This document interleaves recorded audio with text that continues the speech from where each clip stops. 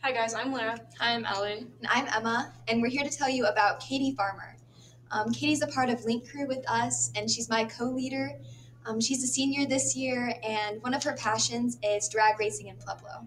She was involved in a very serious car accident Sunday after homecoming. She was airlifted to a hospital in Springs.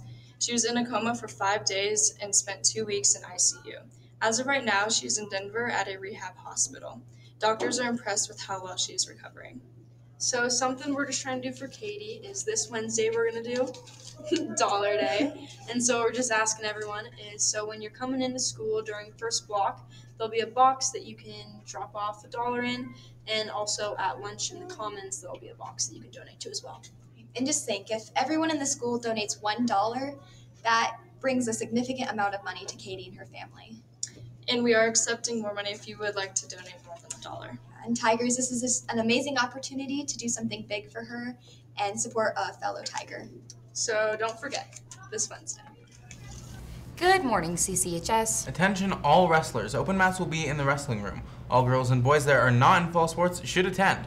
We will run present uh, pre-season workouts Tuesdays and Thursdays from 4 p.m. to 5:30 p.m. Attention all second quarter PACE students, interns, and work study. Please come by the PACE office today to check in, confirm job placements, and grab your agenda for the week. Also, you have a mandatory lunch meeting on Wednesday in the Makerspace. Please grab your lunch and hurry right to the library after the bell. Looking forward to seeing you soon. The CCHS cross country teams competed at the CSML South competition on Thursday, October 13th in Fountain. The girls placed fifth as a team. Alexi Till placed and Piper Montoya placed 15th. Great job, runners. Did you hear the rumor going around? The one about parents just don't understand? Well, they don't, but that isn't the rumor. The rumor is that there's a group of plays being performed on Saturday. Stay tuned for more gossip about Saturday. Congratulations to eight of our Tigers for completing successful auditions for the Colorado All-State Choir this last weekend.